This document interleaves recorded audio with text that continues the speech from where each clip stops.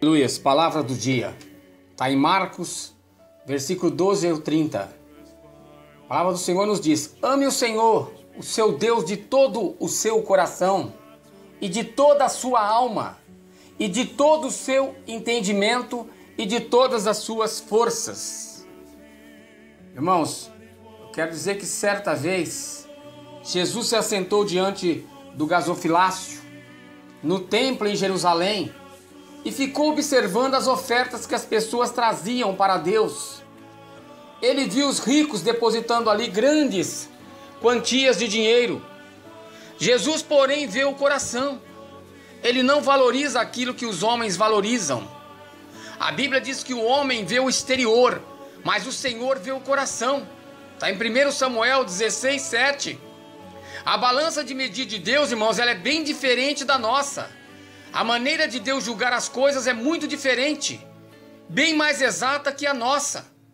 Irmãos, como seres humanos, nós prendemos muito ao que vemos, mas o Senhor enxerga bem mais além. A palavra do Senhor nos fala que uma viúva pobre se aproximou e entregou apenas duas moedas. Eram somente duas moedinhas insignificantes, se comparadas às ofertas que os ricos traziam. Mas Jesus Louvado seja o nome do Senhor. Ele fez uma declaração impressionante sobre aquela mulher e a sua oferta. Está lá em Marcos 12, 43, 44.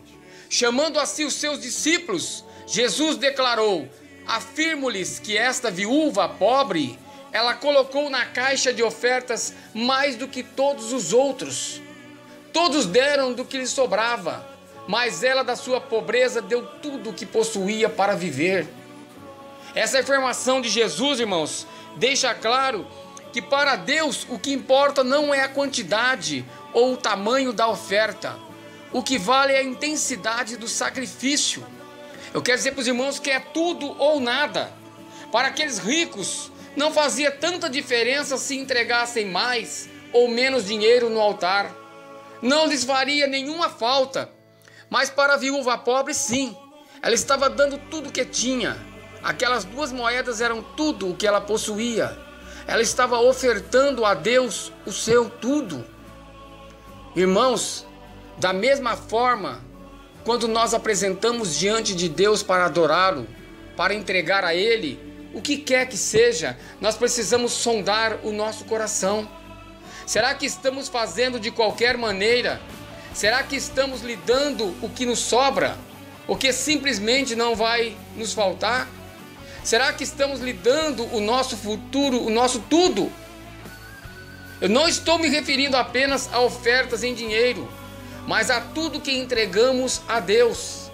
Cantar, tocar, dançar, ajoelhar, bater palmas, levantar as mãos, prostrar, enfim, tudo que fizermos para o Senhor, ele deve ser feito intensamente.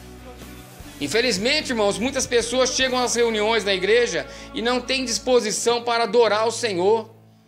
Por que eles estão ali então? Afinal, aquele é um culto a Deus?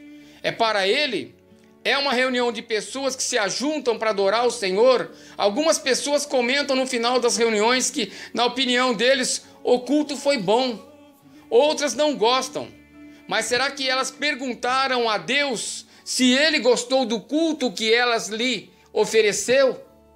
Será que você perguntou ao Senhor se o Senhor está satisfeito com o culto que você ofereceu?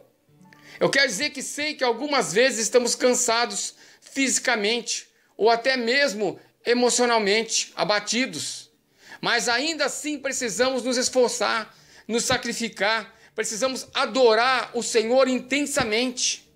Quando nós dispomos a fazer isso, em poucos minutos, as nossas ofertas, as nossas forças, amém, se renovam, tanto no corpo como na alma. É realmente impressionante quando alguém se dispõe a dar o seu tudo para Deus. Eu não estou dizendo de maneira alguma afirmando que as expressões de nossa adoração são necessariamente vistas exteriormente. Às vezes vamos nos aquietar nos braços do Pai Celestial, irmãos. Às vezes ficar em silêncio, mas ainda assim com os corações intensos em Sua presença. Também não estou falando somente da adoração com muitas pessoas, a sós com o Senhor. A nossa entrega a Ele não deve ser diferente. Afinal, Ele é o alvo da nossa adoração pública ou secreta. O que não podemos aceitar, irmãos, é o comodismo.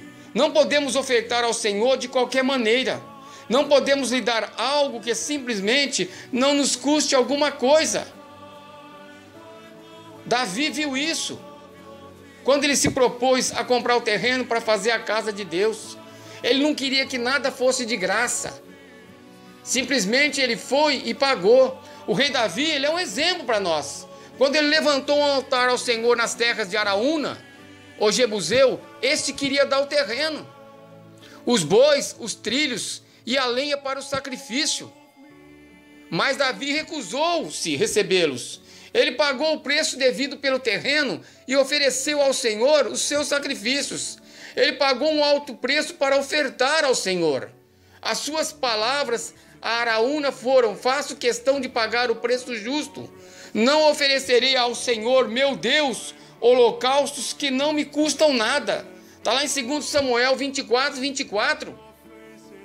Eu quero dizer, irmãos, que para, para dar a Deus o nosso tudo não é um peso e nem um fardo.